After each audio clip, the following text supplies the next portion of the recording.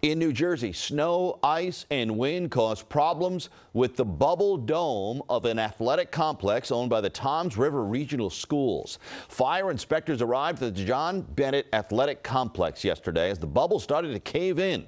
No one was inside at the time. They secured the building and declared it unsafe for now.